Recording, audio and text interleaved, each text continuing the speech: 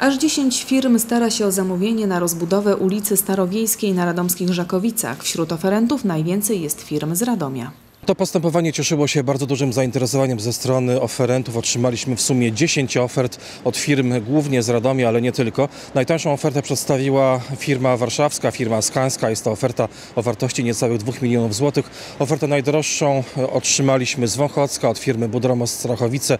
Oferta o wartości ponad 2 milionów 200 tysięcy złotych. Na sfinansowanie tej inwestycji Miejski Zarząd Dróg i Komunikacji zamierza przeznaczyć 3,5 miliona złotych. Ta inwestycja będzie realizowana w ramach Narodowego Programu Przebudowy Dróg Lokalnych. Pierwotnie e, nie otrzymaliśmy dofinansowania z tego programu, potem okazało się, że zostały przydzielone dodatkowe fundusze, dofinansowanie otrzymaliśmy. Dodatkowo jeszcze powiem to, że ta inwestycja będzie realizowana także przy współudziale finansowym mieszkańców oraz firmy Radwak, producenta wag elektronicznych. Ulica Starowiejska zostanie wybudowana od podstaw. To będzie rozbudowa ulicy Starowiejskiej. W zasadzie od podstaw jest to obecnie ulica gruntowa o długości ponad 900 metrów.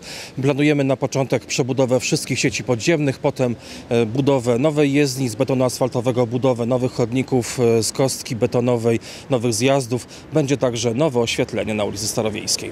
Przewidywana weryfikacja ofert złożonych w przetargu na rozbudowę ulicy Starowiejskiej potrwa około miesiąca. Wszystkie oferty muszą być dokładnie sprawdzone pod względem rachunkowym, prawnym i formalnym.